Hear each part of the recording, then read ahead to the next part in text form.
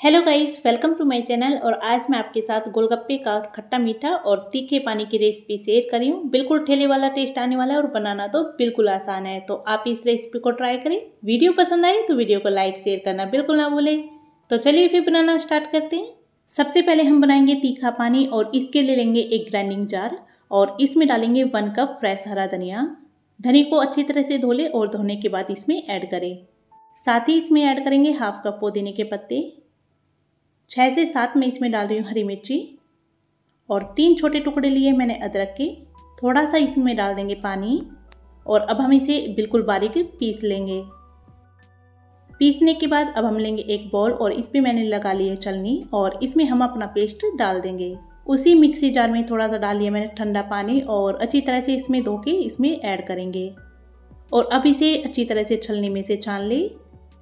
मैं इस पानी को छान के बना रही हूँ। अगर आप चाहे तो बिना छाने भी इस्तेमाल कर सकते हैं। और ये देखिए, मैंने इस तरह से इसे छान लिया है, जो इसमें थोड़े बहुत रेसे है, उसे मैं अलग कर दूँगी। छानने के बाद अब हम इसमें डाल देंगे ठंडा पानी। साथ ही इसमें डाल देंगे हाफ़ टी स्पून काला नमक। हाफ़ टी स्पून डाल देंगे इसमें सफ़ेद नमक। और हाफ़ टी स्पून डालेंगे इसमें भुना हुआ जीरा का पाउडर। हाफ़ टी स्पून काली मिर्ची पाउडर। हाफ़ टी स्पून लाल मिर्ची पाउडर।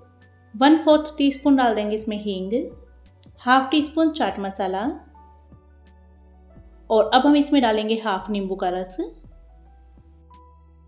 और अब इसमें डालेंगे रायता बूंदी।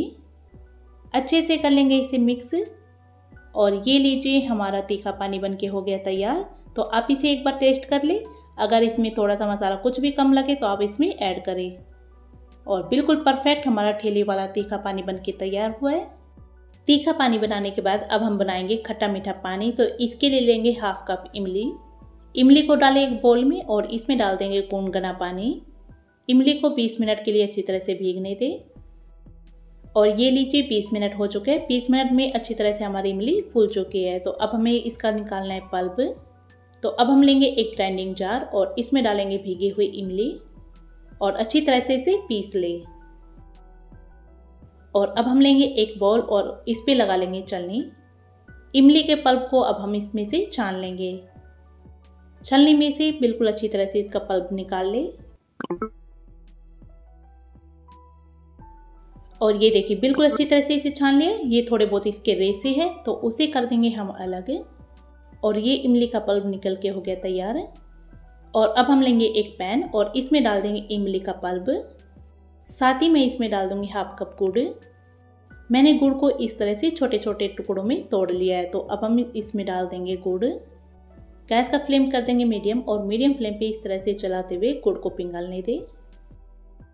और ये लीजिए, बिल्कुल अच्छी तरह से गुड़ पिघल चुका है इसमें।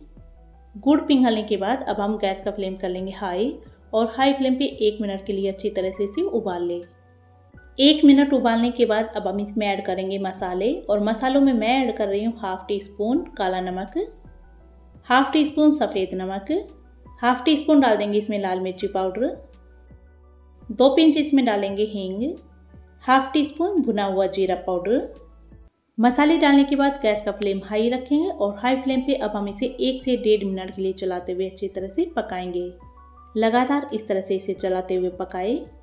मीठे पानी में अगर आपको मीठा ज़्यादा पसंद है तो आप इसमें थोड़ी सी ऐड कर सकते हैं चीनी, या फिर आप गुड़ की क्वांटिटी थोड़ी सी बढ़ा दें। और ये देखिए, मैंने इसे एक से डेढ़ मिनट के लिए चलाते हुए पका लिया है तो आप इसकी थिकनेस देख सकते हैं। बिल्कुल परफेक्ट हमारी खट्टी मीठी चटनी बन के हो गई तैयार। तो अब हम गैस का फ्लेम कर देंगे ऑफ़, और इसे होने देंगे अच्छी तरह से ठंडा।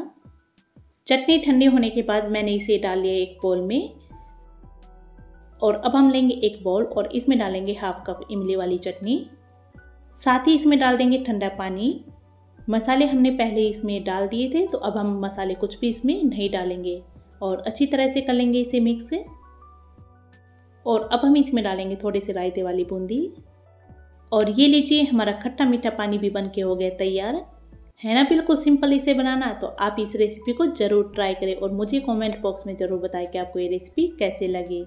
आई होप आपको ये वीडियो पसंद आई हो। पसंद आई हो तो वीडियो को लाइक, शेयर करना बिल्कुल ना भूलें। अगर आप मेरे चैनल पर न्यू हैं तो प्लीज़ मेरे चैनल को सब्सक्राइब कीजिए ताकि आने वाली हर न्यू वीडियो का नोटिफिकेशन सबसे पहले आपके पास आए। नेक्स्ट वीडियो में फिर मिलेंगे एक न्यू रेसिपी के साथ। तब तक के लिए बाय बाय टेक केयर